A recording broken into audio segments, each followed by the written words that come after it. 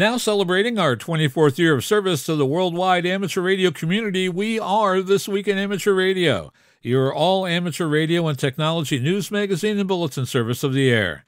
This is edition number 1253 with a release and air date of Saturday, March 4th, 2023. Please take the program to your air following the Q tone.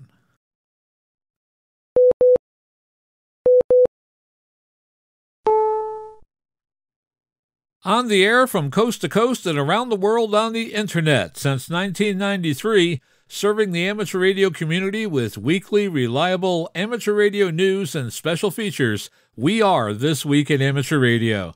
We are the worldwide premier amateur radio and technology news magazine and bulletin service of the air. Here are the stories for release around the earth as we come to air with edition number 1253 of This Week in Amateur Radio. The 2023 Hamvention Awards have been announced. We will have a full report. AMSAT Engineering is recruiting volunteer engineers in both the electrical and mechanical domains. A massive solar flare caused a radio blackout across the United States. A former executive from the Federal Emergency Management Administration pushes to save AM radio in electric vehicles. Parks on the Air introduces their very first contest. We will have all you need to know. Hackers disrupt broadcast radio networks across Russia. Nominations are sought for the CQ Contest Hall of Fame. Cobra takes 11 meter transceivers into the ALMO domain by adding FM. Special sensors are launched to the space station to study the ionosphere this month. And we will tell you how you can tap into your rich uncle to fund your amateur radio dreams. All of that and a lot more are straight ahead in today's edition of This Week in Amateur Radio. These headline stories will come to you in a moment along with this week's special features. We'll visit with Bruce Page, KK5DO, and get an update from AMSAT and what's new with all of those amateur satellites spinning around the planet. With all of the bad weather happening across the country lately, our technology reporter, Rich DeMuro, has taken the guesswork out of selecting the best weather applications for your portable digital device as he reviews some of the best weather apps that are available right now. Australia's own Arnold Benschop, VK6FLAB, and Foundations of Amateur Radio will answer that nagging question all amateurs have Are all spiky antennas the same? Our own amateur radio historian, Bill Continelli, W2XOI, returns with yet another edition of the Ancient Amateur Archives. This week, Bill takes us back in time for a look at what life was like for the amateur radio operator in the early and mid 1930s. And our tower climbing and antenna master, Greg Stoddard, KF9MP, will be with us, and he will have all the information you need to know on how to successfully work on tower sidearms. We'll also have the latest news from Parks on the Air. And that's all straight ahead as North America's premier amateur radio and technology news magazine and bulletin service, This Week in Amateur Radio, takes to the air right now. Reporting from our headquarters studio here in the suburbs surrounding Albany, New York, where we are just coming out of the latest nor'easter, I'm George W2XBS. And reporting from the newsroom in Half Moon, New York, I'm Terry Saunders, N1KIN. And reporting this week from the ham shack of K2MST in the Museum of Science and Technology in Syracuse, New York, I'm Chris Perrine, KB2FAF.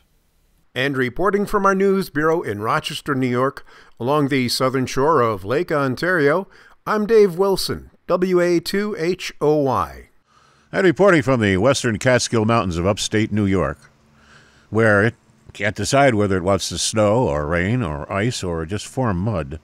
I'm Don Hulick, K2ATJ. Reporting to you from just outside the capital of Albany in Glenmont, New York, this is Bob, W3BOO, Boo Radio. And reporting from our Troy, New York News Bureau, where Old Man Winter's is not quite done with us yet, I'm Eric, KD2, RJX. And reporting from our news bureau in Fayetteville, Arkansas, where we're on the weather roller coaster of temps. I'm Will Rogers, K5WLR. And now, with this week's lead story, here is Terry Saunders, N1KIN. Leading off our news this week, the 2023 Hamvention Awards Committee, chaired by Michael Kalter, W8CI, has announced the 2023 Hamvention Award winners. The Special Achievement Award recipient is Dr. Jason McDonald, MD, N2TPA. He's an active, well known amateur extra class operator who earned his license in 2003. Dr. McDonald began as a radio frequency engineer before changing careers to become a trauma surgeon.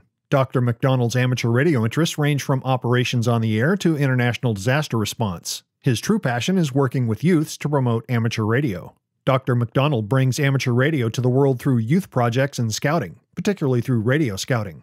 Empowering youth through education is the goal of the clubs he's helped form. W1PTG is a testing group that Dr. McDonald helped create to offer exams in underserved areas and get more people into the hobby. This team of volunteer examiners graciously donates its time and money to ensure each licensee in the program receives mentor support and a radio. He's been instrumental in promoting international friendship and community through amateur radio by forming scouting clubs in Canada, VA7 RSI, the Philippines, W1PTG and DX1MC, and in Florida, KQ4 GCK. To date, more than 500 youths in these clubs have been licensed and are on the air. The Amateur Radio Club of the Year is the Delaware Valley Radio Association, or DVRA, an ARRL affiliated club formed in 1930 and serving the Trenton, New Jersey metropolitan area. The club has tripled in size over the last six years due to the wide range of amateur radio activities and events they offer. An all purpose club, the DVRA's activities include public service events, operator training and mentoring, scouting events, informational monthly meetings, parks on the air events, and the operation of a world class club station. The DVRA's center of activity is Club Station W2ZQ, which operates on a regular schedule. The station was renovated six years ago and currently houses two complete HF stations, a VHF repeater, an APRS digipeater, and a WinLink VHF RMS node.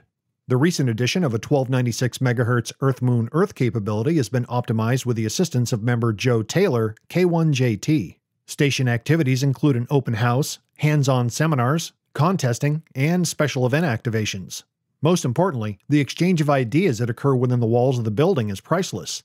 The DVRA's focus on training and diversification in its projects attracts new hams and engages radio amateurs at all levels. The Technical Achievement Award recipient is Dr. James Breakall, WA3FET, whose work has been instrumental in amateur radio antenna technology for decades. He has teamed up with many experts in the field to develop state of the art advancements with a wide range of applications, including the numerical electromagnetics code.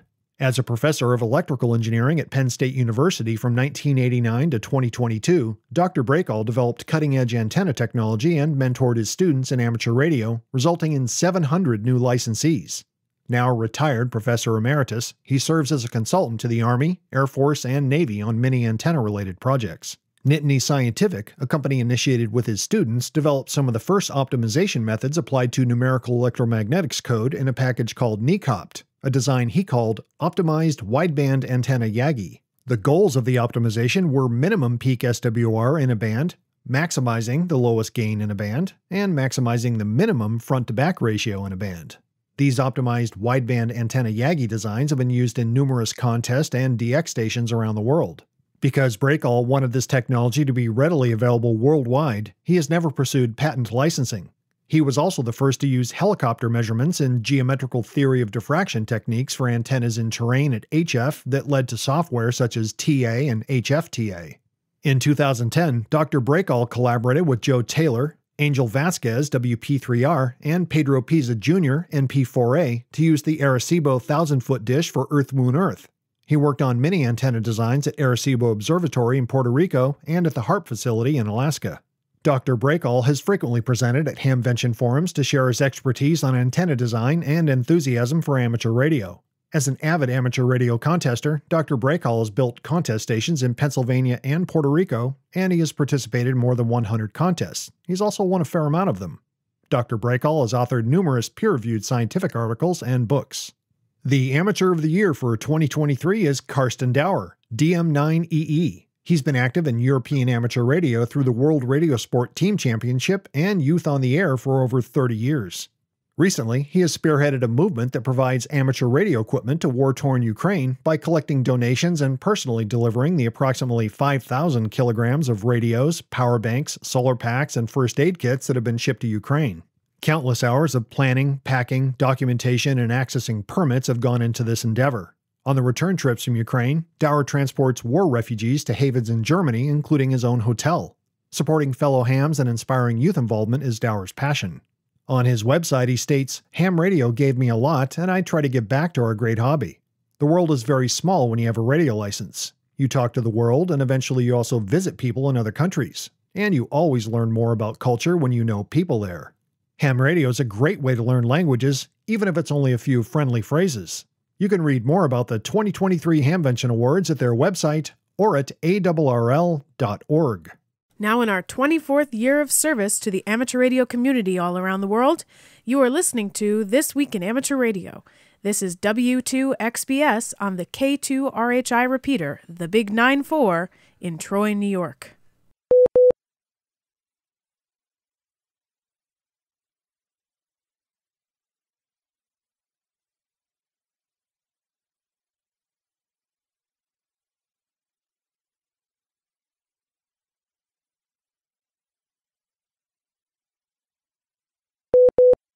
AMSAT is looking for an electronics engineer with radio frequency experience to join its Fox Plus team. To tell us more about these exciting positions within AMSAT, we go to John Ross, KD8IDJ, who files this report. The team will be a collaboration of up to 10 electrical, mechanical, software, and systems and engineer volunteers.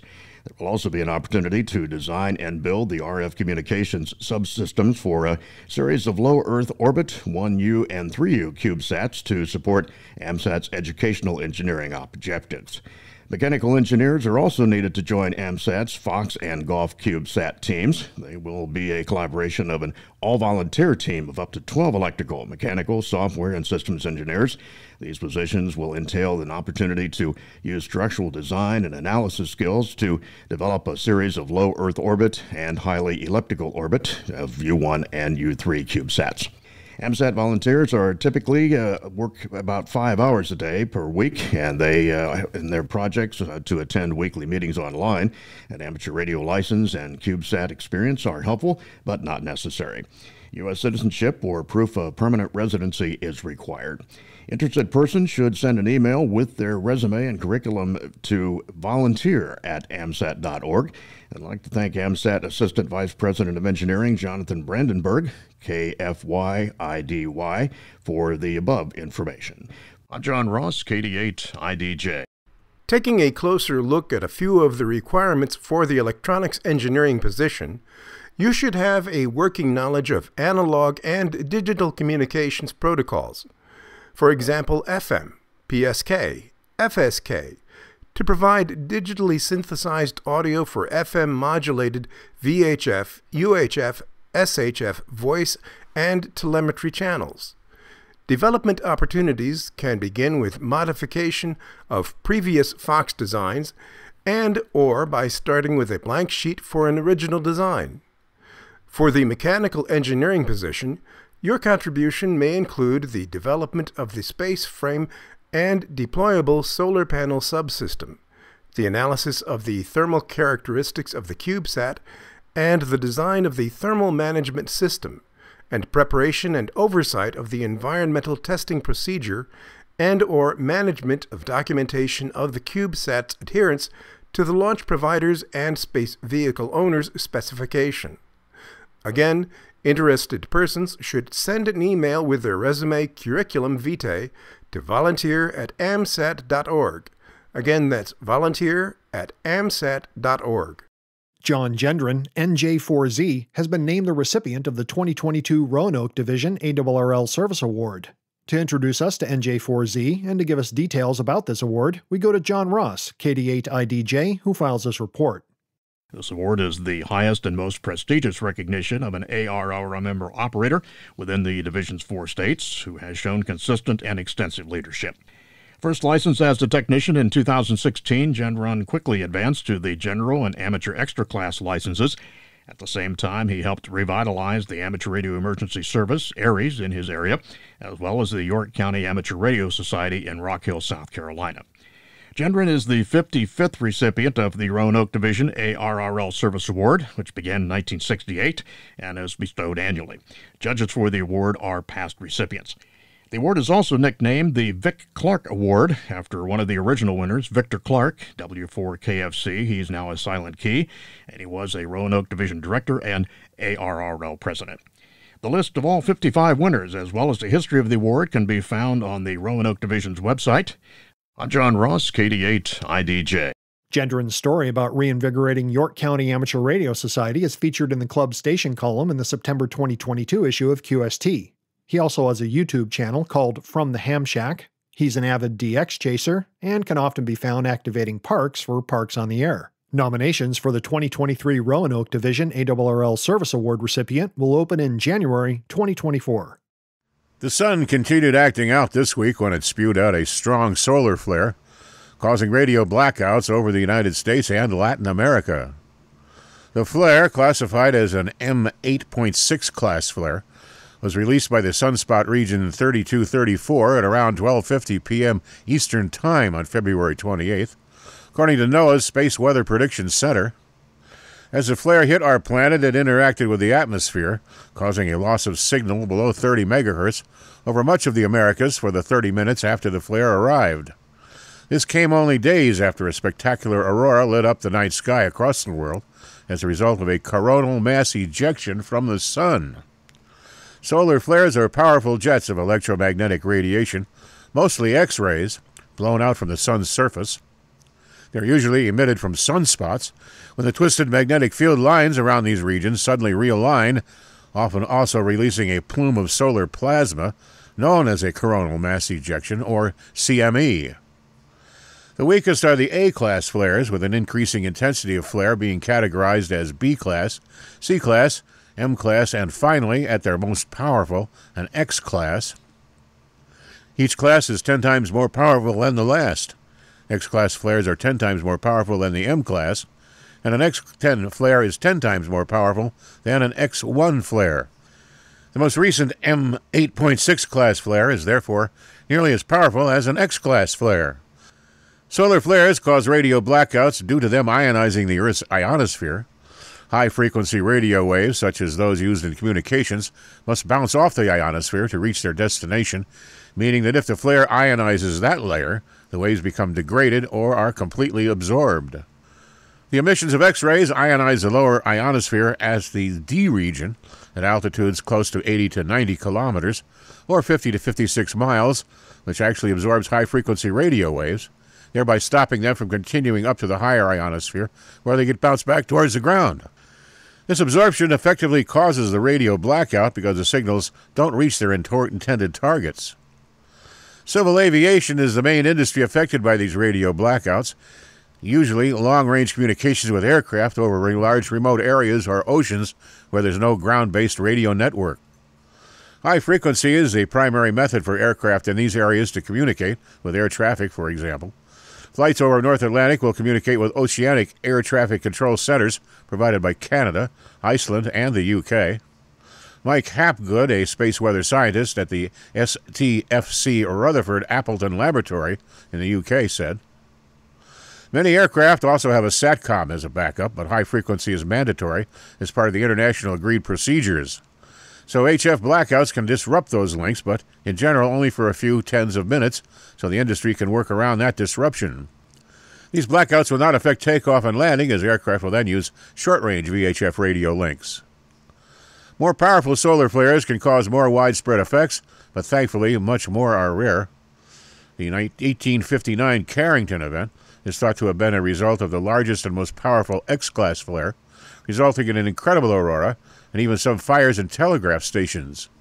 An equivalent flare today might cause massive impacts to the electrical grid. The sun is expected to get more and more active, producing more sunspots and releasing more solar flares and CMEs in the coming years as it approaches the solar maximum of its current solar cycle, solar cycle 25. 24 complete solar cycles have been recorded since observations began in 1755, with solar cycle 25 predicted to peak in 2025.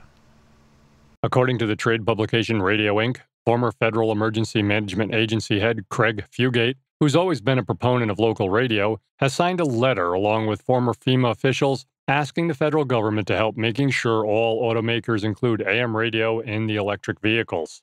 The Wall Street Journal was the first to report the letter Monday, in it, Fugate says when all else fails, radio stations are often the last line of communications that communities have. Some automakers are dropping AM radio from their newer electric vehicles because they say the vehicles generate electromagnetic frequencies on the same wavelength as AM radio signals, creating buzzing and signal fading from the interference. According to the Wall Street Journal, the letter sent to members of Congress included signatures from seven former FEMA administrators. The letter was also sent to Transportation Secretary Pete Buttigieg. The letter states that AM radio serves as a linchpin of the infrastructure behind the Federal National Public Warning System, which provides emergency alert and warning information from FEMA to the public during national disasters and extreme weather events. They say spiking AM radio represents a grave threat to future disaster response efforts. The journal article says 47 million people in America still listen to AM radio, citing Nielsen statistics.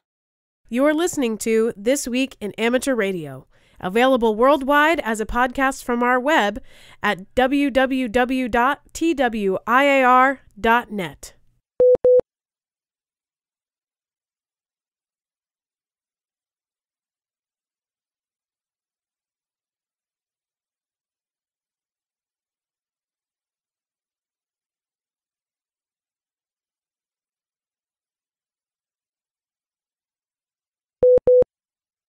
Amateur radio balloon hobbyists are worried that the small balloons they launch into the sky could be shot down or that the focus on balloons could lead to tight restrictions on their little known hobby. Speculation has grown about whether one of the unidentified objects taken down by a United States Air Force F 22 on February 11th over Canada's Yukon Territory was a small party style balloon launched by a hobby group whose name is a whimsical reference to the children's film Up.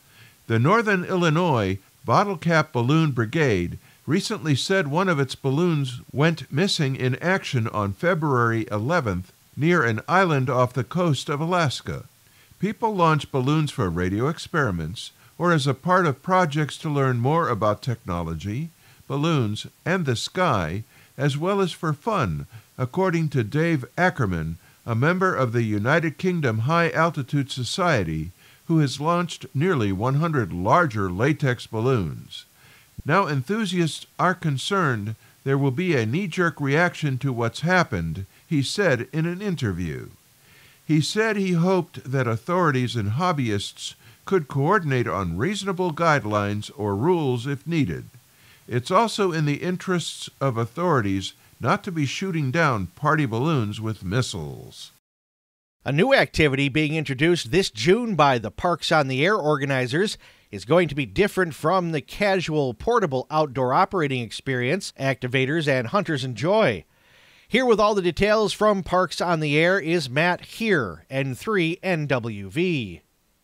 Howdy, POTA folks. I'm Matt, N3NWV, and today is an exciting day for Parks on the Air we have just announced the 2023 POTA Plaque event. The date is June 3rd and 4th, UTC. So 0000 June 3rd to 2359 June 4th. For those of you new to Parks on the Air, the plaque event has been an annual occasion since 2018.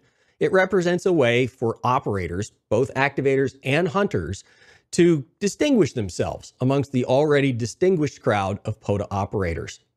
The event is open to all licensed amateurs who are members of the Parks on the Air program and who abide by the special event rules. Now, for the most part, the rules are just the regular POTA rules. There are, however, one or two caveats that you need to be aware of, some of which are new for 2023. The first change is that starting this year, we will not count QSOs made on the WARC bands for plaque eligibility. The WARC bands are still fine and dandy for day-to-day POTA use, including if you just want to do regular old POTA during the event. But note that because of the nature of the event, we have decided not to count QSOs made on 60, 30, 17, or 12 towards totals that will be considered for awarding plaques. What has not changed is that all valid modes still do count for POTA QSOs, and the standard POTA rules for determining what is a unique QSO haven't changed. The second change specific to the plaque event is the elimination of the ENFR multiplier for either QSO totals or park counts. You're still welcome to go and set up at an ENFR and log it for regular POTA, get credit for multiple QSOs and multiple parks. But for the purposes of the plaque totals, one QSO from one park at a time. If you are set up at an ENFR and you want to count all two, three, four, however many parks you're at, you're going to have to do it the old school way. You're going to have to go QRT at park number one and then fire up at park number two, even though you haven't moved. Log them separately and redo the QSOs if you want to count them more than one time. Both of these changes are based in large part on community feedback. The goal is to make the event the best possible representation of our ham radio values and as equitable and inclusive as we possibly can make it. And under the category of inclusivity, we have included some new plaque categories in the awards section. Specifically, we've added rookie categories to both the activator and hunter sections. What's a rookie? Well, a rookie is somebody who's done the first one of either activating or hunting within the last 365 days prior to the event. So if you're relatively new to POTA, you now have a category where you can compete without having to go up against the big guns that have years of experience on you. All the new event details have been posted on all of the POTA properties, so you can check the docs on POTA.app, Facebook, Slack, Discord, whatever suits you to get all of the details and start your planning for the 2023 POTA Plaque event. 7-3, and good luck. We'll see you there. The International Amateur Radio Union announced that Human Security for All will be this year's theme of World Amateur Radio Day on April 18, 2023. John Ross, KD8IDJ, is here with all the details you need to know for the upcoming World Amateur Radio Day celebration. That day is being celebrated with a two week operating event occurring April 11th through the 25th. Special event stations will be operating from around the world, making two way radio contacts to call attention to the HS4A campaign. The concept of human security measures the security of individuals by things essential to one's well being. This includes economics, food, health, and the environment, personal factors, the community, and political factors as well. Amateur radio is uniquely positioned to address those challenges by promoting technical knowledge, practical skills, innovative technology, and the deployment of backup systems at the community level that can be called upon in times of emergency. Programs like the Amateur Radio Emergency Service ARES empower hams to be more resilient in times of crisis. ARRL's Learning Center has several courses that can train users to help them gain those skills. IARU is a federation of the National Amateur Radio Societies over 150 countries worldwide, is a global advocate for amateur radio through its sector membership in the International Telecommunications Union and an agency of the United Nations and other activities. I'm John Ross, KD8 IDJ. The International Amateur Radio Union, a federation of the National Amateur Radio Societies of over 150 countries worldwide, is the global advocate for amateur radio through its sector membership in the International Telecommunication Union, an agency of the United Nations, and other activities. The United Nations Trust Fund for Human Security and the World Academy of Art and Science are partnering with the International Amateur Radio Union in the campaign. In a release, the partners wrote, Amateur radio has repeatedly demonstrated its ability to address human security needs. It is a truly global communications medium comprising some 3 million radio enthusiasts connecting communities and the peoples of the world.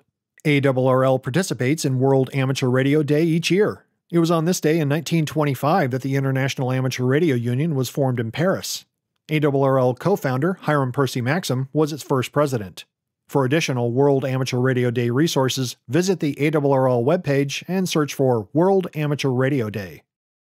Radio stations in several Russian cities were disrupted on February 22nd by the sound of air raid sirens and a warning of imminent missile strikes. The broadcasts were reportedly heard on Russian network radio across many cities.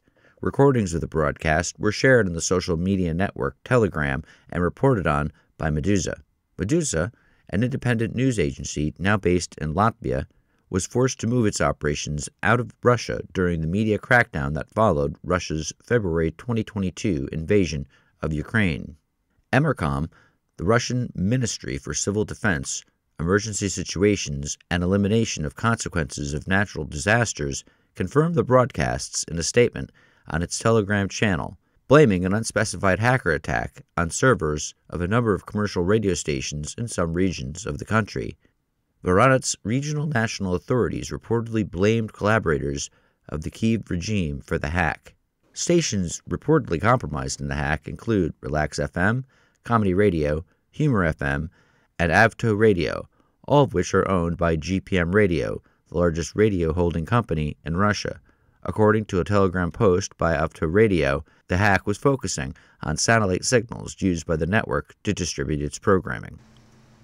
There is a new FT8 app for Android during the rounds. It's called FT8CN from BG7YOZ in China. It's a free download and unrestricted in its use. It's in the early stages of development, but is already up to version 0.86. You'll need to give your device permission to allow the install of the app. There are various ways to configure the radio connection. The simplest Vox appears to be the Android device's internal mic and speaker. Of course, you could pipe audio directly in and out via the audio socket on your tablet or phone. Direct Cat allows a USB connection, Bluetooth is available, and connection via a Wi Fi network. All these seem to be in early stages of development. It also plots the action to a live map. You can download the APK file from github.com slash noboy slash ft8cn slash releases. You are listening to This Week in Amateur Radio, available as an on demand stream from Spotify, Deezer, and wherever podcasts are available.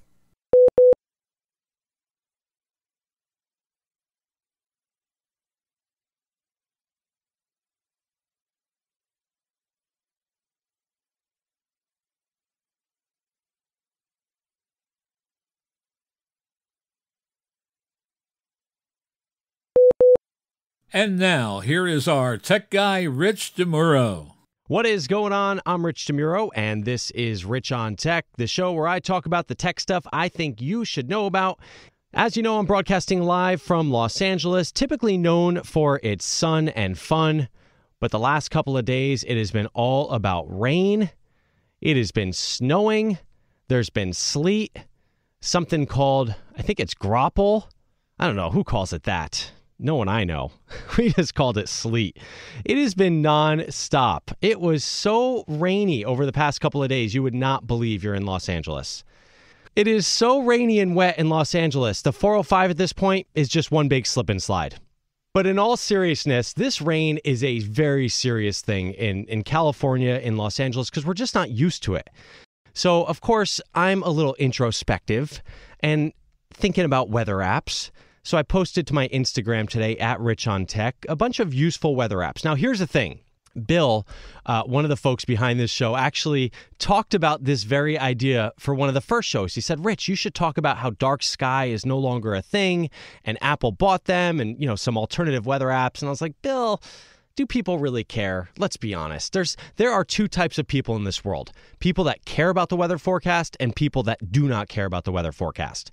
My wife is a weather forecast fanatic. She checks her apps every minute of the day. It drives everything she does. From what she wears to work in the morning to what she plans for the afternoon to her drive. So let me give you a little background about Dark Sky. So this was an app and a, a company that was very, very popular. And the reason they were popular is uh, they had this really spot on notification technology that if it was going to start raining, they would send you a notification saying, hey, we're predicting rain in your area in the next 17 minutes. And you'd be like, what? How do they know? How do they do this? I don't know how they do it. But it was so good. And it was pretty much the favored weather app for both Android users and some iOS users um, until Apple decided, you know what, this is pretty good technology. Let's purchase it. So they purchased this technology. I think it was like back in you know, a couple years ago. And then immediately they shut down the Android app. So all the Android users were like, "Nah, sorry, no more no more dark sky for you." And then they took the technology and they mixed it into their own weather app. So if you have an iPhone, you've probably seen those little notifications that say, "Hey, uh, it's going to start raining your location in the next uh, you know, 8 minutes." That's all because of dark sky. And then they're going ahead and they're going to shut down these other uh, what's called an API. So other weather apps are able to tap into dark sky and use that information to make their apps better. That's called an API. Well, now Apple is going to shut that off as of, according to the website, March 31st, 2023. But I think they actually extended that. I think that was supposed to happen last year, but I think because of the pandemic and all that stuff, they said, okay, we'll throw you a bone. We'll let it stay for a little bit longer. So all these apps that rely on dark sky for this really cool technology are now suddenly like, okay, now what do we do? So I went through and I looked at some of the, my favorite apps and some of the useful apps out there and I'll go through some of these apps. And some of them were suggested by users as well. Uh, but the first one is called Windy. This app is really great if you love full screen visualization. So if you just like seeing what it looks like around you outside from, you know, space, this is just a fantastic app for that because it lets you scroll through all different kinds of visual, visualizations, whether it's precipitation, whether it's wind, whether it's lightning, and it's just a nice big map to see that and that big map animation, sort of like what you see on the news, right? So Windy is the app for you if you like that. Then there's an app called Overdrop, and this is one of my favorites. Uh, this is a, a, very minimalistic app. It's very beautiful. Some people are calling it the Dark Sky 2.0 because it's it's easy to understand. It looks really good. It functions very good. All of the basics are on one page. So they've got these nice, beautiful animations at the top. You could see exactly what you need to know, like the current conditions, the hourly forecast, and then you can scroll down and see the rest of what you need. Plus, they do precipitation notifications. And so if you like those notifications that you used to get, especially on Android, from Dark Sky, Overdrop can maybe fill that void. Now, Overdrop is still powered by Dark Sky, but I was reading on their website and they said, no, no, we've got some tricks up our sleeve. We're going to switch to some other providers once Dark Sky goes away. But right now, they're still able to use that one. Now, another app that's really bright and kind of fun, and this is uh, a, a very good app. I, I, recommended it to my mom, and she used it for many, many years, is called Hello Weather. And again, very much like Overdrop, but it's minimalistic. It's got nice, big kind of graphics. It's got big bar charts that just tell you what you need to know. So you get this nice, rich visual visualization of the week ahead. So I can see today we've got 100% rain in the forecast. Tomorrow it's 55%. Monday it's back to 100%. Then Tuesday 95%. Wednesday 90%. Oh my gosh, what is happening here in California? Uh, and then Thursday it'll be sunny. But I can see that really easily on this app. So that one is very nice and simple to use. Now, this next app, you're going to love or hate. It's called Carrot Weather. And I actually interviewed the founder of this app a couple of years ago. And it's so funny, nice guy. But you go on this app and it is super snarky, and people love that about this app. So if you want your weather with personality, Carrot Weather is where you got to go. So you can choose from, you've got this slider, and you can choose from whatever you want your weather to be like, okay? So you've got personality from uh, just fun, or uh, sorry, just regular. Then you've got friendly. Then you've got snarky but you can try it out. Carrot Weather, and people like it because it's also very simple. Then you've got an app called Wunderground. And the thing about Wunderground, it's actually I think it's like Weather Underground, but it's it's from the same folks that do the Weather Channel, which is now owned by IBM, which is not the same as the Weather Channel on your TV, by the way. So they're they're they're different, uh, as far as I know. So the Weather Channel or Weather Underground, Wunderground, uses data from 250,000 personal weather stations. So they boast these hyper-local weather forecasts. It also collects some information from your phone sensors, and I know that the Weather Channel uh, kind of got in trouble for that when people realized that they were using that information. So just be aware of that. Uh, but this one is really very simple. It's kind of basic, but it has all the information you need if you want to take that deep dive. Again, same company as the Weather Channel. And then finally, we've got this app called Clime, C L I M E. This has uh, great radar imagery plus all the vitals. So if you just want to scroll through and see the wind, the visibility, the AQI, the humidity, and the moon phase all in one place, you got it on this app, plus the big radar screen. It also has notifications for precipitation. So if you like that, it has it. It also has notifications for major changes like lightning or other things that are happening with the weather. Now, those require payment. Like a lot of these apps are kind of the freemium model, which means the basics are free, but you're going to pay for the rest. And this one, out of all the apps, I mean, they all push kind of a paid product, but this one really pushes their paid product. I was getting a notification or a pop up screen to switch to the paid stuff like very, very often on this one. So that's called Clime. My name is Rich DeMuro. Thanks so much for listening. There are so many ways you can spend a rainy day and your time. I do appreciate you spending it right here with me. I'll talk to you real soon. Are you ready for another excursion into amateur radio history? This is Bill Continelli, W2XOY, and I'll be back in a moment with another installment of the Ancient Amateur Archives. You are listening to North America's premier news and information service for the amateur radio hobbyist. We are This Week in Amateur Radio.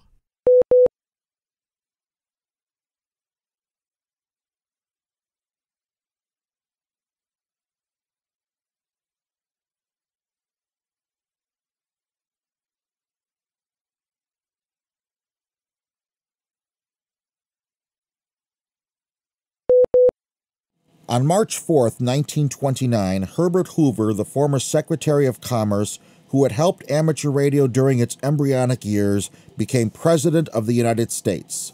Less than eight months later, the nation was thrown into the Great Depression. Stock prices fell 80%, the gross national product fell 50%, and unemployment was at 25%. It did not sound like a good time to waste money on a frivolous hobby such as amateur radio. And yet, the early 1930s was the period of the greatest growth in our history. From 1929 census of 16,829, amateur radio expanded 276% in five years to a total of 46,390 in 1934. What was life like in our hobby of 75 years ago? QST was 25 cents per issue. One of the interesting columns in it was called Calls Heard, which was simply a list of page after page of call signs that were heard by various stations reporting in. Each month, hams would scan the hundreds of calls listed to see if their signals had been noticed. One of the call signs listed was W2XAF, which was not an amateur station, but rather the shortwave relay of WGY Schenectady. In fact, in the 1930s, there were so many broadcast stations with shortwave relays that the call book listed them in addition to amateur call signs. Most of the ads in QST at that time were for components to construct your own station. Tubes, resistors, and condensers, not capacitors, condensers, were displayed in full page ads. RCA and DeForest were the dominant entities in the tube field. If you needed A, B, and C batteries, the Burgess Battery Company in Madison, Wisconsin would supply them. As the 1930s progressed, more companies appeared with kits or even assembled units. Hammarlund, then known as Hammarlund Roberts Incorporated, made its debut with the AC Pro, an eight tube superhet receiver. National's new receiver was the SW3. Radio Engineering Labs, known as REL of Long Island City, supplied low cost transmitters and receiver kits. In 1931, one of these kits was at the center of a legal battle that went all the way to the Supreme Court. RCA, which held the DeForest patents on the regenerative circuit, sued REL. Edwin Armstrong, who actually invented regeneration but lost a controversial court battle with DeForest, saw this as an opportunity to win back his patent. He purchased 51% of REL stock and proceeded to fight the grand battle once more. Unfortunately, in 1934, the Supreme Court ruled that DeForest, not Armstrong, was the inventor of regeneration. Armstrong could take some small consolation in that another of his inventions was finally put to good use in amateur radio super regeneration. Invented in the early 1920s, super regeneration provides very high sensitivity on AM signals. However, it has almost no selectivity, a very high noise level in the absence of stations, and radiated a broad interfering signal to nearby receivers. It was useless on medium wave or short wave, but was perfect for the 5 meter band at 56 megacycles. During the early 1930s, Ross Hull, QST's associate editor, wrote many articles about 5 meters and the surprising propagation there. Many phone stations appeared on the 56 megacycle band, and almost all used super Regeni receivers and some even operated full duplex. If UHF phone doesn't interest you, how about amateur television? In 1931, you ask? Unbelievably, the answer is yes. In 1931, an article appeared in QST describing the spinning disc mechanical television system that had been around since the 1920s. It was clumsy and crude, but it worked. The Jenkins Television Corporation of Passaic, New Jersey offered a spinning disc kit within QST's pages. Within nine years, however, the mechanical system was rendered obsolete by RCA's all electronic system. The Madrid Conference was held in 1932. Unlike the 1927 Washington Conference, amateur radio was not in danger and no frequencies were lost. 1932 also saw the expansion of the phone bands, but a special endorsement was needed to operate them. The old man was still around, with his letters in QST about rotten operators, rotten band conditions, rotten stations, etc. In fact, everything that didn't meet the old man's standards was rotten. For the past 15 years he had been writing. No one knew who he was. Finally, when Hiram Percy Maxim died in 1936, the ARRL revealed that Maxim indeed was the old man. By the way, since H.P. Maxim W1AW was still alive in the early 1930s, the ARRL station call was W1MK. Dealers included Uncle Dave Marks, whose first store was located at 115 North Pearl Street in Albany, New York. This address is significant to me because I now work in the building that stands on that site. By 1934, the Federal Radio Commission was superseded by the FCC, and a new license structure with Class A, Class B, and Class C licenses was in place. In our next installment, we will take a look at the late 1930s, particularly some events in 1938. I hope you can join me. W8LT is the call sign for the Amateur Radio and RF Club at Ohio State University. John Ross, KD8IDJ, is here with a little history behind amateur radio at Ohio State University. The University Club has a long history at OSU, and archive records indicate that 1926 was the year it officially became a club, likely making it one of the oldest ones on campus. W8LT is just three years shy of celebrating its 100th anniversary. In the early 1920s, the call sign started out as 8LT until the Radio Act of 1927 added a W to all radio call signs. Then W8LT had been closely associated with WOSU Radio, the university's non commercial station, which began as WEAO in June of 1922. The two stations were believed to have shared a small building near campus until the mid 1950s. In 1957, both stations were moved to small military style Quonset huts. From January 1961 to January 1963, the club was unable to find a location anywhere on campus, so all of their equipment was put into storage in club member Bill Hale's K8JIX basement and brought only for ARRL Field Day each June. Eventually, W8LT found a new home in the bell tower at Ohio Stadium, in a room directly below where the bell rings after every home game win. That location allowed a 500 foot long wire antenna to be stretched from the tower to a nearby smokestack at OSU's power station. The result was a powerful signal that could be heard clearly on stations around the world. When Ohio Stadium was renovated, W8LT moved again, this time to Bevis Hall, where it remains today, near the location of those old military style Quonset huts. Today, the club continues to grow with 15 active members, including students, staff, and alumni. Faculty advisor Larry Fetch, K8HTC, said the club takes every opportunity to recruit new members and offer licensed testing sessions. I'm John Ross, KD8IDJ. More information is available on the W8LT website and on their Facebook page. W8LT is an ARRL affiliated club and participates in the ARRL Collegiate Amateur Radio Program. We pause for stations along the network to identify. We are This Week in Amateur Radio, available as a stream to your favorite digital device on Spotify, TuneIn.com, Overcast, iHeartMedia, and wherever you download your podcasts.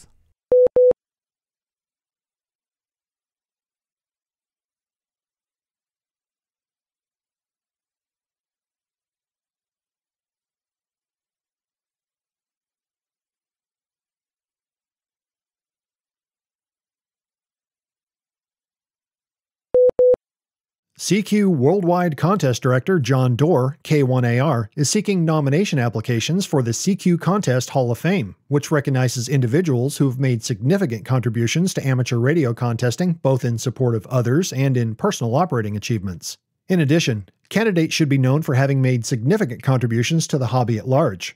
Please include the following information with your application name of person being nominated, Call sign, if they're a licensed amateur. If they have multiple call signs, list the most recent. If your nominee is still living, please apply their current contact information as well as a description of their accomplishments and achievements, and why you feel he or she should be elected to the CQ Contest Hall of Fame.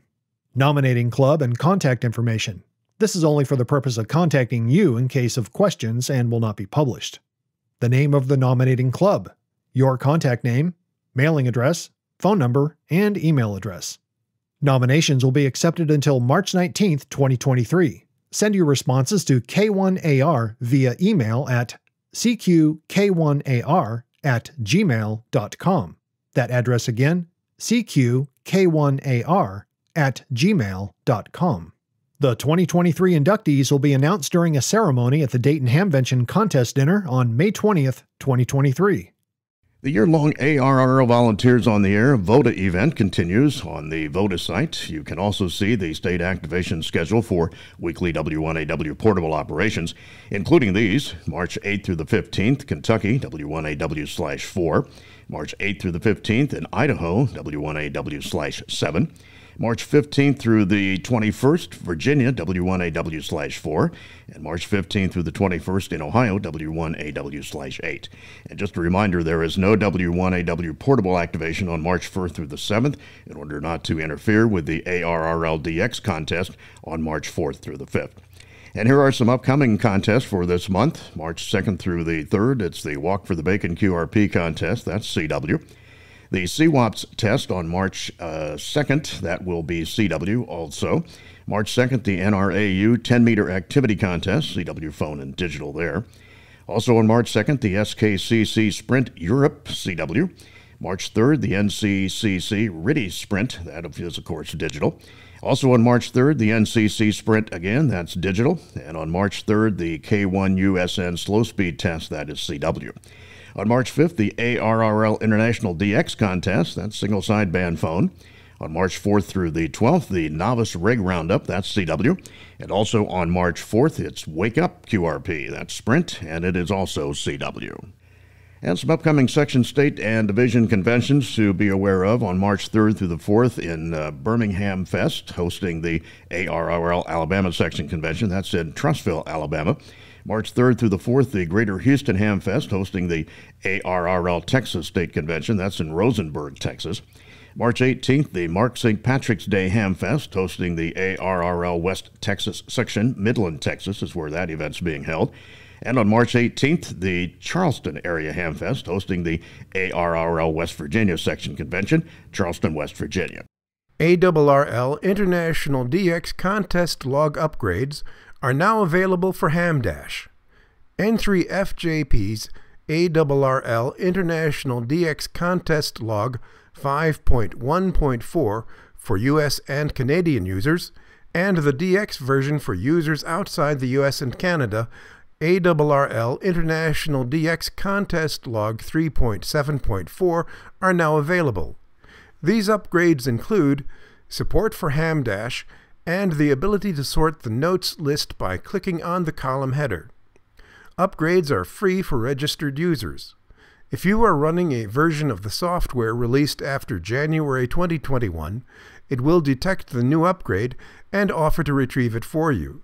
If you have any problems with the automatic upgrade, or if you are running an older version, you can install the latest version directly from the website at www www.n3fjp.com. Again, that's www.n3fjp.com. It is time for the weekly propagation forecast report brought to us each week by Tad Cook, K7RA, in Seattle, Washington, who reports this week that this was a busy week for geomagnetic storms. A solar wind stream from an equatorial hole and a coronal mass ejection blew geomagnetic numbers seemingly off the scale, with the planetary A index on Monday hitting 94. Aurora was visible as far south as 40 degrees latitude. Imagine a line running from Reno, Nevada through Provo, Utah, then Denver, and then Kansas, Nebraska state line, Quincy, Illinois, Dayton, Ohio, and into Philadelphia. That whole area saw aurora. This week, the source of the 10.7 centimeter solar flux, the DRAO Observatory at Penticton, British Columbia, was again saturated by solar wind on February 25th, and the measurement was 279.3. The National Oceanic and Atmospheric Administration corrected this to 152, which was thought to be a bit too low. The other recent saturation was on February 17th at 343.1, but for some reason NOAA let this one stand. This week we saw two new sunspot groups appear on February 23rd, another on the following day, another on February 27th, and then on February 29th, one more, with two more coming on March 1st and one more on March 2nd. The average daily sunspot number rose from 107 to 126.3, but average daily solar flux declined from 162.4 to 158.2. The average daily planetary A index rose from 10.6 to 27.7. So, over the next few weeks, it appears that solar flux values should hit a peak around March 17th or 18th. Taking a look at the predicted solar flux now, it will be 165 on March 4th and 5th, 170 and 175 on March 6th and 7th, 180 on March 8th and 9th, 165 on March 10th and 11th, and 170 on March 13th through the 15th. The predicted planetary A index is 18, 16, and 8 on March 6th through the 8th, 5 on March 19th through 14, and then 15, 8, 8, 5, 8, and 15 on March 15th through the 20th, respectively. Bruce Paige, KK5DO, has checked in with this week's AMSAT report. And over the years, astronauts and cosmonauts have been active at various times, making random contacts. Back in the shuttle days, it was a more common occurrence. Today, it's much rarer. However, they still do make some contacts. So, what can you do to improve the odds that you might hear them and be able to actually make a contact with them? Well, first, you need to know what region of the world you're in and select the frequency that they use in that region. The voice downlink worldwide is 145.80 MHz FM. The uplink for the Americas is 144.49 MHz FM. However, the astronauts have been known to pick up the mic while the repeater was operational, in which case you will need to listen on 437.80 MHz FM and uplink to the repeater on 145.99 MHz FM with a 67 Hz tone. Now that you have those frequencies, when should you listen?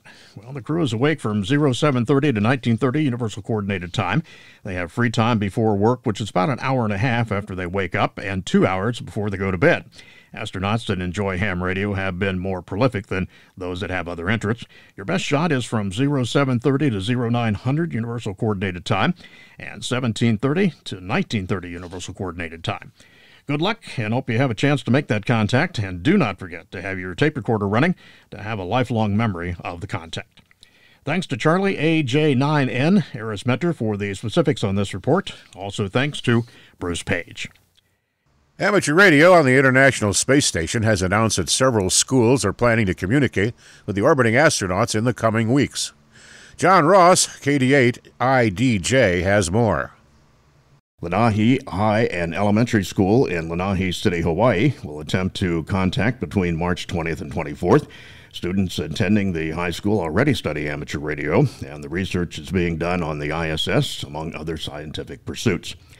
Stone Magnet Middle School in Melbourne, Florida will make their contact between March 27th and April 1st. In their application, Stone Magnet wrote that they work to inspire students to develop interest in science, technology, engineering, arts, mathematics, and those are, of course, STEM careers. ARISS is a cooperative venture of the International Amateur Radio Societies and the space agencies that support the ISS. In the U.S., participating organizations include NASA's Space Communications and Navigation Program, SCAN, the ISS National Lab, Space Station Explorers, ARRL, the National Association of Amateur Radio, and AMSAT. I'm John Ross, KD8 IDJ. ARISS is presently seeking contact proposals for the next round of school selections. You can visit the ARISS website for all the details. You're listening to America's premier amateur radio news magazine of the air. This week in amateur radio.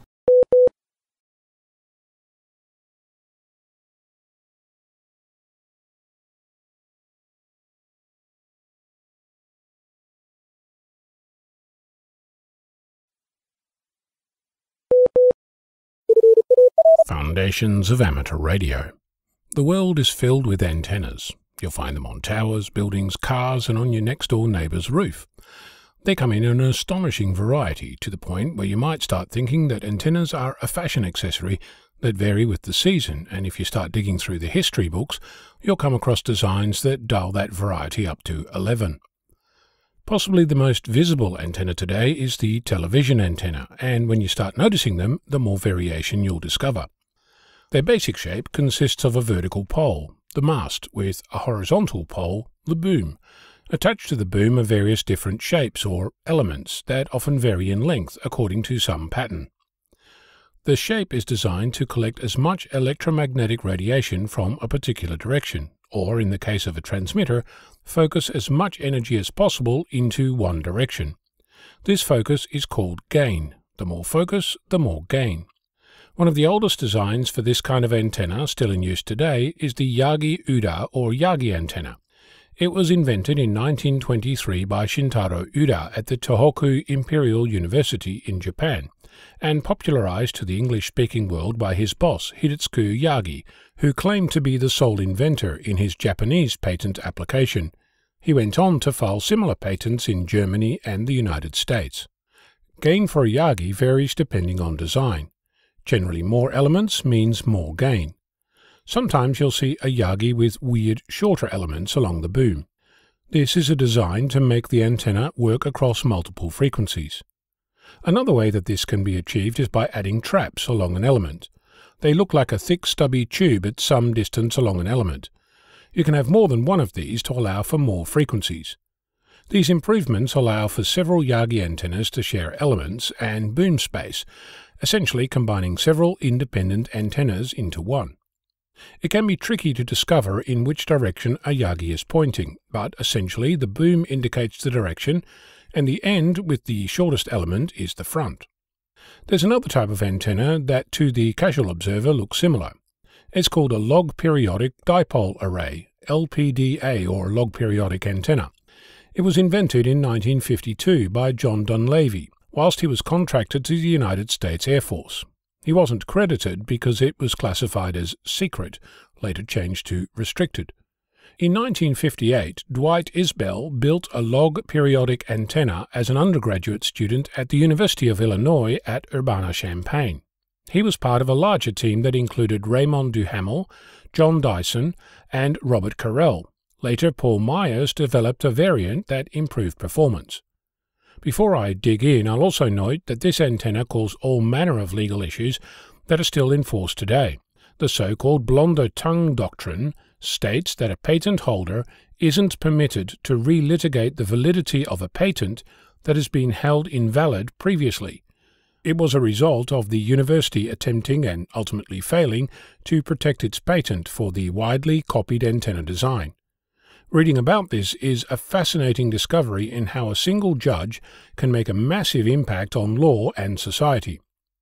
The log periodic antenna is designed in a way that to the uninitiated looks very similar to a Yagi antenna.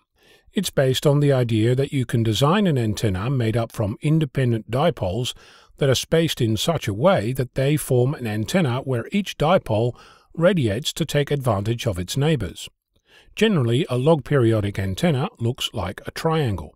Often the elements are on two separate booms, alternating side to side, or you'll see a zigzag structure that causes the antenna signal to alternate side to side. One characteristic of an antenna is called bandwidth. It's a measure of how many frequencies it can operate on within the constraints of the antenna. The wider the bandwidth, the more frequencies you can use with the same antenna. A Yagi antenna typically operates within about 4% of the design frequency. If you combine multiple Yagis by adding traps or different length elements, you'll end up with several frequencies, each with a similar range. A log periodic antenna, on the other hand, is designed to be used across a large range of frequencies. In shortwave broadcasting, there are log periodic antennas that operate between 6 and 26 MHz. In more common use today, you'll find log periodic antennas used for higher frequencies. It's not unusual to find log periodic antennas that operate between 400 and 4000 MHz. For even more confusion, you can share the boom of a log periodic antenna with a Yagi antenna, as is popular in fringe television reception areas. Some other things to note are that for a Yagi, most of the elements are passive, and only one is generally a driven element. In a log periodic antenna, all elements are driven. For a Yagi antenna, more elements means more gain, whereas for a log periodic antenna, it means more frequencies. I'll also point out that there are experiments where the frequency range for Yagi antennas is being increased to more than 20% of the main frequency by varying the design. Much of this is achieved by using computer simulations to test many different virtual antennas, until one promising design pops out. This optimization technique can also be applied to log periodic antennas, resulting in very interesting shapes that look nothing like the antennas you see on the roof today. I've completely skipped over how these antennas are actually fed, as in, how is the coax connected to the antenna? That's a whole different topic of conversation worthy of many hours of research and discussion. Next time you look at a spiky antenna, you should be able to discover if it's a Yagi or log periodic, or both, and why. I'm Onno, Victor Kilo 6, Foxtrot Lima, Alpha Bravo. Kevin Beal, K8EAL, has joined ARRL staff as the Director of Development. John Ross, KD8IDJ, has more on the story in this report from League headquarters. Kevin Beal, K8EAL, has a significant background in nonprofit administration.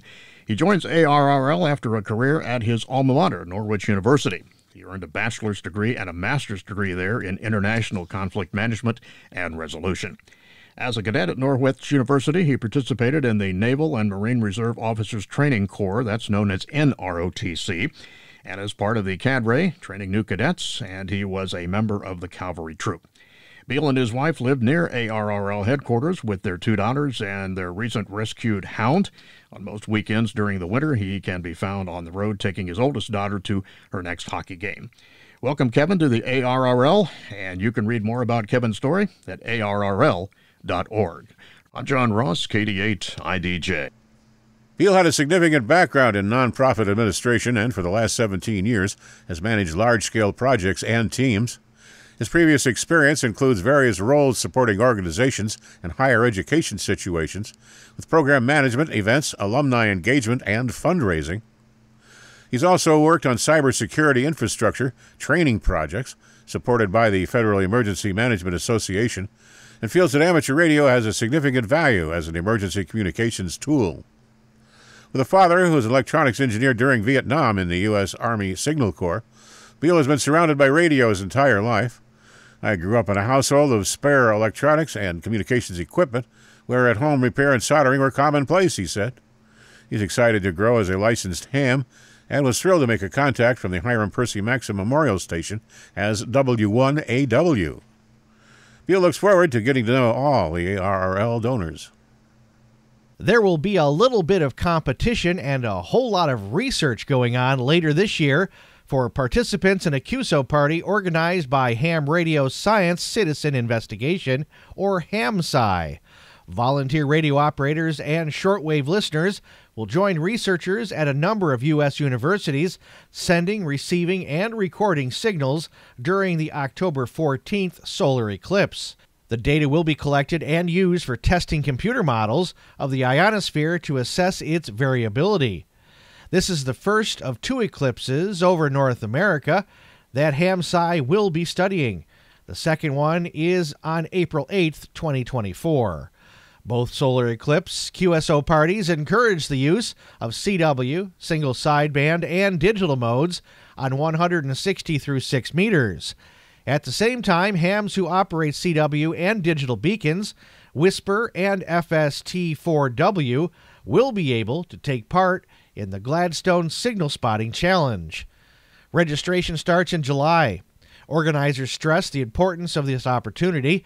As they say on the project's website, if we miss the chance to collect meaningful data in 2023 and 2024, it will be decades before North American hams and researchers get another opportunity. If you'd like to get involved, visit hamsci.org. Looking for older editions of our news service? You can find them all as part of the digital library of amateur radio and communications through the facilities of the Internet Archive. You're listening to This Week in Amateur Radio.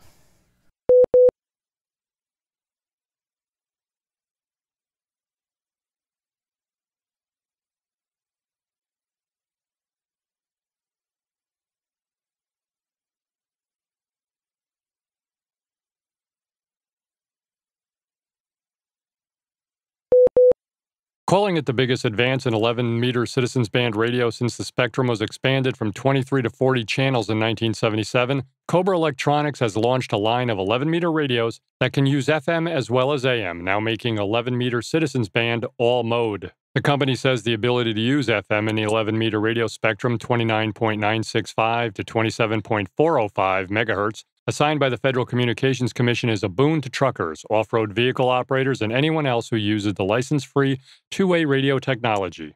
It says the FM transmission CB radio mode provides users with the ability to enjoy high quality, clear audio during radio conversations with nearby or strong CB radio transceivers.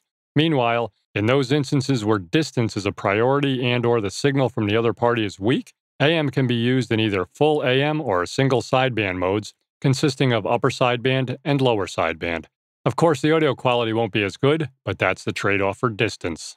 Cobra said its ability to offer FM in its CB radios is the fruit of four years of petitioning the FCC for permission to do so. To boost its case, the company sought input from the CB radio customers, sources from online CB radio forums, off road vehicle clubs, and CB radio distributors. The strategy worked. The FCC granted permission for AM FM CB radios to be sold in the United States in 2021. Our team has been on the forefront of working with the FCC since 2016 to make AM FM CB possible, said Gail Babbitt, CEO of Cedar Electronics, parent company of Cobra, in a news release. The implications this will have on users like professional truck drivers, fleet managers, and local delivery services will be amazing, making communications clearer and more productive than ever while on the road. The United States military is getting ready to do some intense testing on the ionosphere. Two ionospheric sensors will be tested on board the International Space Station this spring in an experiment designed to ultimately improve HF radio communications for the U.S. Department of Defense. The website, Breaking Defense, reported that the sensors are to be sent to the space station this month the U.S. military has been revisiting the importance of HF radio as an alternative to satellites, having realized that U.S. satellites could become compromised or destroyed by enemy attack. HF bands are already being used by the three branches of the U.S. military for some long range communications. Andrew Nicholas, one of the lead researchers on the sensor project, told the Breaking Defense website that the sensors will be measuring ionospheric particle density and its impact on the radio waves passing through it. He said that the data from the tests will help in the development of better ionospheric monitoring models. Eventually, the military might even consider creating satellites that would constantly monitor such important ionospheric changes to assist in the performance of HF communication. A popular contester and DXer who had once been the chief engineer for the Federal Communications Commission has just become a silent key.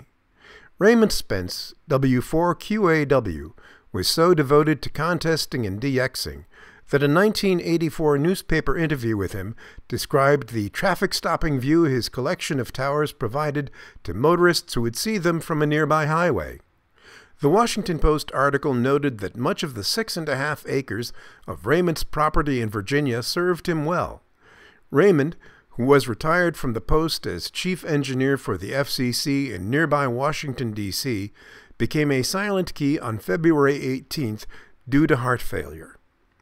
Born in 1929, he was an active ham for much of his life. His basement radio room served as his main contest station, and he was a top performer in many major contests. He is listed on the DXCC Honor Roll and was a member of the National Capital DX Association and the Potomac Valley Radio Club.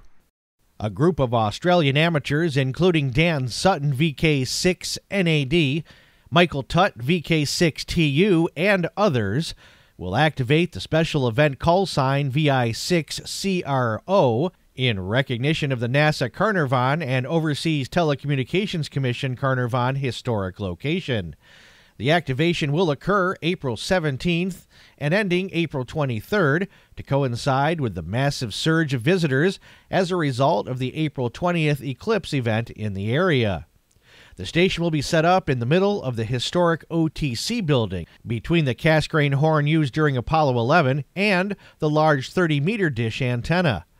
The station will have FM satellite capability and intends to organize contacts with Australian and Indonesian amateurs, hopefully via the ISS repeater and AO91 if they are operating at the time. Also near the station is the Carnarvon Space and Technology Museum. Buzz Aldrin opened the museum in June 2012, so the NASA connection will resonate through the event, at which many hundreds of visitors are expected to attend daily. The QSO Today Virtual Ham Expo is proud to announce a panel discussion on March 25, 2023, at 12 p.m. Pacific Daylight Time titled The Future of Amateur Radio Balloons in the Current Era. The discussion will be moderated by Eric Guth, 4Z1UG, and will explore the current state of amateur radio balloons in light of recent events, including the United States Air Force's decision to shoot down unidentified objects in American airspace. The panel will feature some of the most prominent figures in the field of amateur radio ballooning, including experts in the technology and enthusiasts who have used it to pursue their interests. The discussion will cover a wide range of topics, including the history of amateur radio balloons, the challenges faced by balloonists today, and the future of the technology in an era where the skies are becoming increasingly crowded. According to Eric Guth, 4Z1UG, the moderator of the discussion, the future of amateur radio balloons is a topic of great importance to the amateur radio community, especially in light of recent events. We need to discuss how we can continue to pursue our interests in the face of new challenges and restrictions and explore new avenues for innovation and growth in the field. The QSO Today Virtual Ham Expo is a leading online event for the amateur radio community, bringing together enthusiasts, experts, and manufacturers from around the world. The expo features a wide range of presentations, exhibits, and interactive sessions covering topics from radio technology to emergency communications and everything in between. This year's event promises to be the most exciting yet, with a lineup of speakers and panelists that is sure to inform and inspire. Registration for the expo is open now, and attendees can sign up for the panel discussion on the future of amateur radio balloons in the current era as part of their ticket. For more information, on the QSO Today Virtual Ham Expo and to register for the event, please visit www.qsotodayhamexpo.com. When emergency radio equipment from Barrett Communications arrived from Australia on February 14th, the director of the Rainbow Radio League, Yulu Radio Movement, noted that the date was Valentine's Day and declared the delivery a gift of love. Donald DeRiggs, J88CD, said he was grateful for the donation, the third of its kind provided by Barrett for emergency use in St. Vincent and the Grenadine Islands. The equipment is not only a useful way to bolster communications during hurricane season, but a way to safeguard areas such as those who are left vulnerable during the eruption of the volcano La Soufriere in 2021. The Australian company has taken an active role in helping the island communities. Previous donations by Barrett were used to assist the island of Dominica in the aftermath of Hurricane Maria in 2017. Donald said as soon as this new equipment was programmed and deployed, there will be drills in May or early June to prepare for the coming hurricane season. The latest shipment was transported to Kingstown from the air cargo facility by Leslie Edwards, J88LE. This included HF radios, portable solar panels, spare microphones, the portable antenna mast, and broadband dipoles. Hours after a 6.4 magnitude earthquake rocked the already stricken region of Turkey and Syria on Monday, February 20th, mainstream media turned its attention to the critical role that amateur radio is playing there. With communications taken down in much of the region of Turkey and northern Syria, amateur radio repeaters on VHF and UHF frequencies kept communications open for rescue work and other aid. That dramatic story was told on the BBC program Digital Planet on Tuesday, February 21st by Aziz Sasa, TA1E, president of the Turkish Amateur Radio Association. The retired engineer was interviewed by show host Gareth Mitchell, an amateur radio operator himself with the call sign M7GJM. Aziz said that following the disaster, VHF and UHF repeaters throughout the region were the only means of communication for seven days, as rescuers and agencies shared frequencies and information. He said that the longer distant capabilities of HF were not as essential because most of the issues being handled were local and could be handled via shorter range frequencies. Asked what the greatest contribution of the hams has been so far, Aziz said we helped in saving lives. I believe that's quite a nice thing for us. You are listening to North America's premier news and information service for the amateur radio hobbyist. We are This Week in Amateur Radio.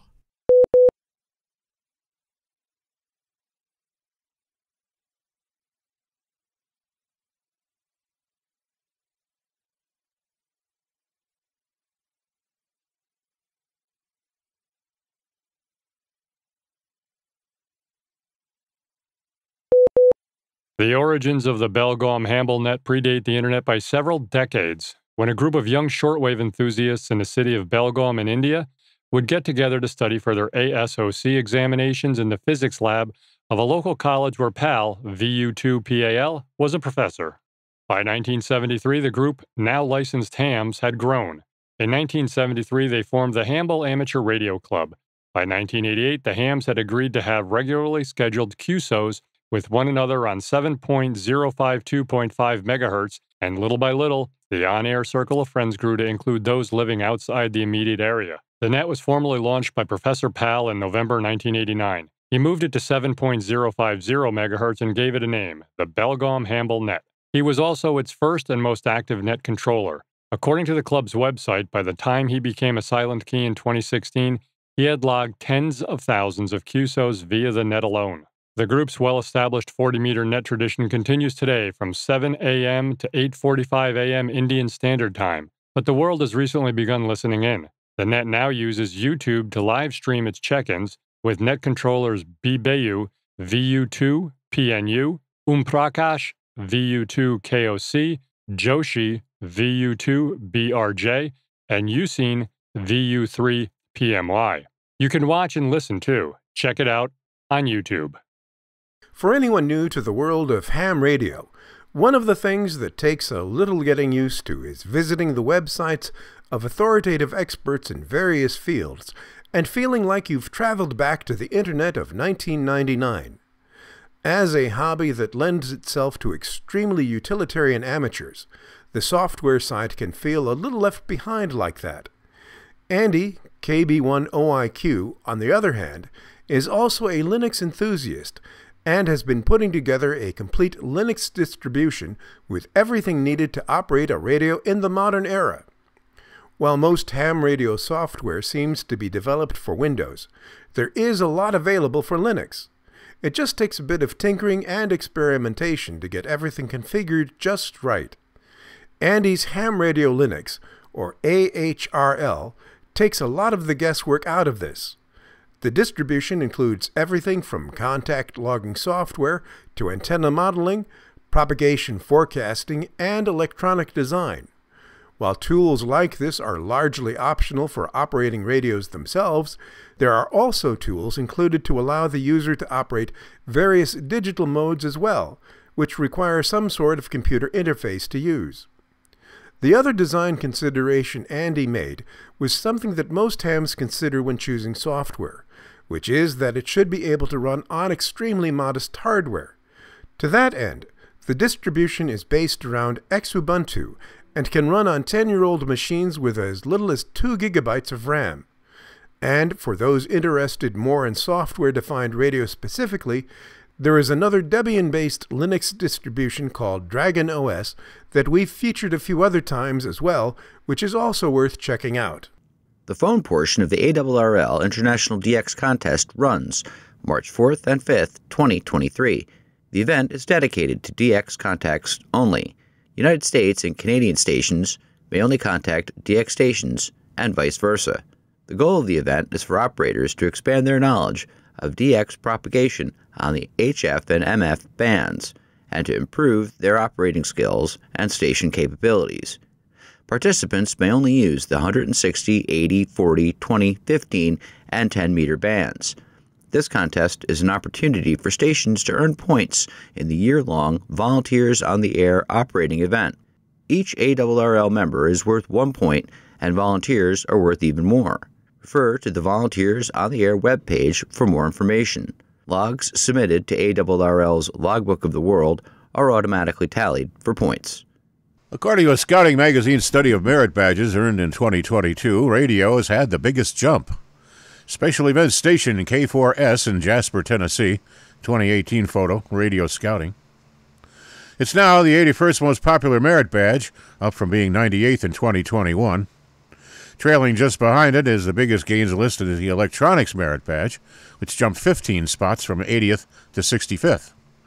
To earn the rank of Eagle Scout, members must earn 21 badges, 14 of which are standard. The Scout gets to choose the remaining badges based on personal interests. Many Scouts take part in the Jamboree on the Air, which is being held October 20th through the 23rd of 2023. And now, with his segment on tower climbing and antenna safety, here is Arizona's own Greg Stoddard, KF9MP. The only thing that worries me more than climbing to 400 feet on a July night with thunderstorms visible in the distance is climbing to 200 feet and then making a turn to the right and moving away from the tower 6 feet on a sidearm. Just the thought of making a sharp turn on a highway with no exits just doesn't seem natural but for a climber, it's a necessary part of the job. For the safety oriented climber, we work to minimize the risk of death. Let's be honest here. If something goes very wrong on a sidearm, one of three things will happen death, poopy diapers, or serious injury. Let's examine some potential truths about sidearms. For openers, if the sidearm was about to fall off the tower, it would be visibly obvious just by looking at its mounting hardware most of the time. Also, if that structure survived the past year's worth of ice storms, 90 mile an hour winds, or worse without breaking, chances are it'll support my fat butt for a short amount of time just fine, too. Since tower climbers usually own lots of straps, belts, and ropes, we have the ability to choose how we want to protect ourselves when working on sidearms. Basically, we can choose to secure ourselves to the tower, or if we want to secure ourselves to the sidearm at all. Depending upon the width of the tower, the design of the sidearm will vary. On a 1 to 2 foot sidearm, many times I stay below it and stay strapped to the tower. I use two or three devices and lean out away from the tower so I'm just below the antenna I'm working on. If the antenna is too heavy to handle this way, I can secure it from above or work on it from above. If the sidearm is a big 6 foot mother, I prefer to climb out onto it to get my work done. What I do is use a very light but very strong rescue strap.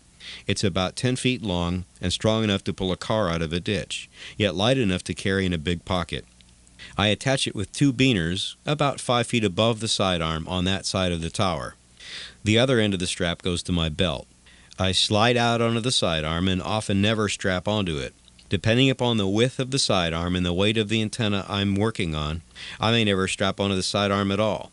This way, if the sidearm breaks off the tower, I'll drop to the end of the strap and stop while the sidearm can fall away.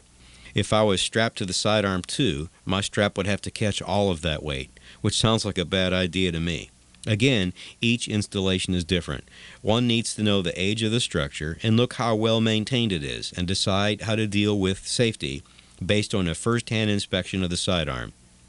There is not much in nature that would put an equivalent weight load at the end of a sidearm equal to my 160 pound body weight. So a climber needs to be very aware of the risks and safety specs of his gear, not to mention the condition of the tower. The professional climber recognizes the danger and works to minimize the risk without losing lots of time and with minimal added weight.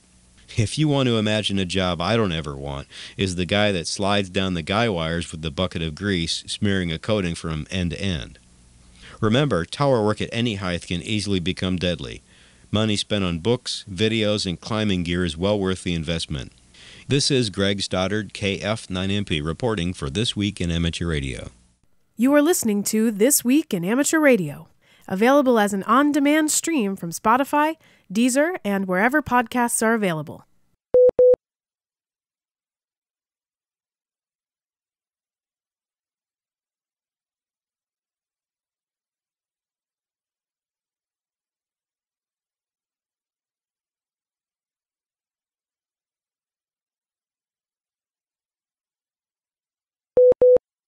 The Amateur Radio and the International Space Station program is seeking formal and informal education institutions and organizations, individually or working together, to host an amateur radio contact with a crew member on board the ISS. With more information you need to know, we go to John Ross, KD8IDJ, who files this report from League headquarters. ARISS anticipates the contact will be held between January 1st, 2024 and June 30th, 2024. Crew scheduling and ISS orbits will determine the exact contact dates. To maximize these radio contact opportunities, ARISS is looking for organizations that will draw large numbers of participants and integrate the radio contact into a well developed educational plan. The deadline to submit a proposal is March 31st, 2023, and you can find all of the information at ariss.org. An ARISS introductory webinar will be held March 1st, 2023 at 8 p.m. Eastern Standard Time. The Eventbrite link to sign up for that free webinar is at eventbrite.com. ARISS, by the way, is a cooperative venture of the International Amateur Radio Societies and the space agencies that support the ISS. The United States sponsors are ARRL, the Radio Amateur Satellite Corporation, AMSAT, Amateur Radio Digital Communications, ARDC, NASA's Space Communication and Navigation Program, that's known as SCAN, and the International Space Station National Lab Space Station Explorers, known as SSE. I'm John Ross, KD8 IDJ. Crew members aboard the International Space Station will participate in scheduled amateur radio contacts. These radio contacts are approximately 10 minutes in length and allow students to interact with the astronauts through a question and answer session. An ARIS, ARISS contact is a voice only communication opportunity via amateur radio between astronauts aboard the space station and classrooms. ARISS contacts afford education audiences the opportunity to learn firsthand from astronauts what it is like to live and work in space and to learn about space research conducted on the ISS. Students also will have an opportunity to learn about satellite communication, wireless technology, and radio science. Because of the nature of human spaceflight and the complexity of scheduling activities aboard the ISS, organizations must demonstrate flexibility to accommodate changes in dates and times of the radio contact. Amateur radio organizations around the world, with the support of NASA and space agencies in Russia, Canada, Japan, and Europe, present educational organizations with this opportunity. The ham radio organization's volunteer efforts provide the equipment and operational support to enable communication between crew on the ISS and students using amateur radio. The primary goal of ARISS is to promote exploration of science, technology, engineering, the arts, and mathematics topics. ARISS does this by organizing scheduled contacts via amateur radio between crew members aboard the ISS and students. Before and during these radio contacts, students and educators, parents, and communities take part in hands on learning activities tied to space, space technologies, and amateur radio.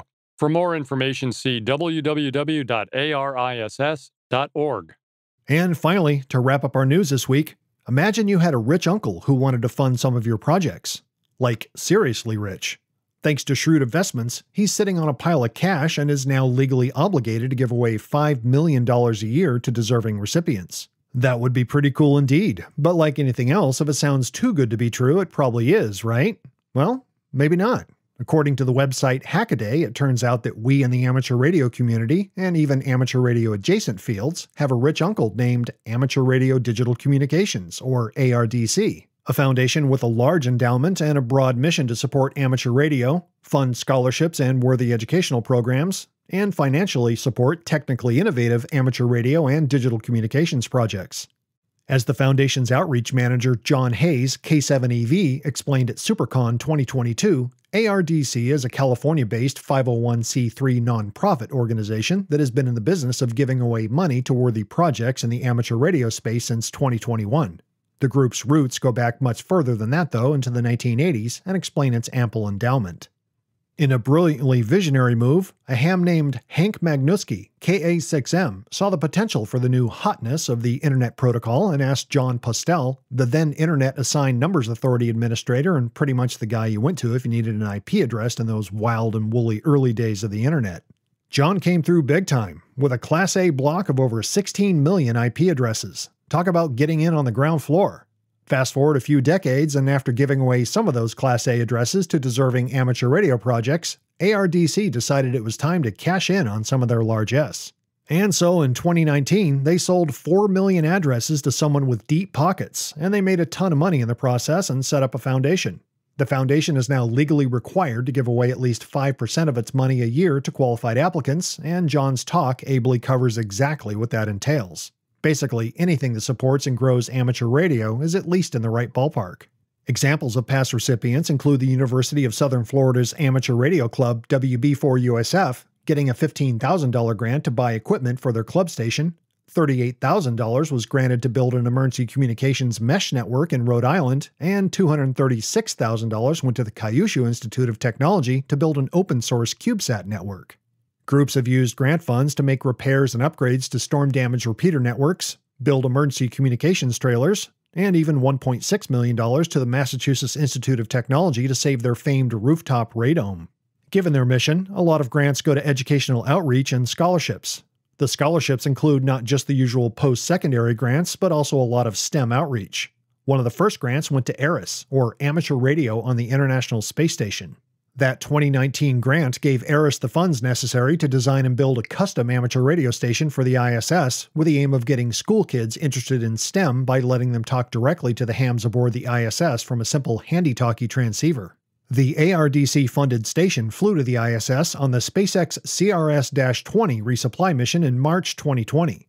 The station's been used hundreds of times since and can be considered a smashing success in terms of outreach and engagement. John's talk was polished and professional. He'd already given it more than 40 times in 2022 by the time SuperCon rolled around, and it really gets the wheels turning. If you're in a ham radio group or even in an area that's plausibly related, it probably makes sense to think about what your rich uncle can make possible. You can find John's talk on YouTube. This Week in Amateur Radio is heard on nets and repeaters around the country and around the world on great repeater systems like WA3PBD repeater system on Thursday evenings at 7:30 p.m. on 146.730 and 223.940, covering all of Pittsburgh, Pennsylvania and beyond. Many of the news and information items heard in this edition of This Week in Amateur Radio have been provided by the American Radio Relay League, the ARRL Audio News Service, and the ARRL Letter, AMSAT, the Radio Amateurs of Canada, the Shortwave Listening Post, the Federal Communications Commission, the Radio Society of Great Britain, and Ofcom, the South African Radio League, the International Amateur Radio Union, the Wireless Institute of Australia, and the Australian Communications and Media Authority, the New Zealand Association of Radio Transmitters, the Amateur Radio Newsline, the Rain Hamcast, Eric Guth, 4Z1UG and QSO Today, QRZ.com, the Rich on Tech podcast, courtesy of Premier Networks, the International Telecommunications Union, the 425DX News, Parks on the Air, and the Soda Reflector, and various news sources on the Internet. With special thanks to all our weekly news sources and to you, our listeners, that wraps up this edition of This Week in Amateur Radio. If you would like to write to us, you can find everything you need, including archive editions of the news service, at our website at twiar.net. And now, for all of us at This Week in Amateur Radio headquarters and all our news team around the world, this is Will Rogers, K5WLR in Fayetteville, Arkansas, wishing you 73.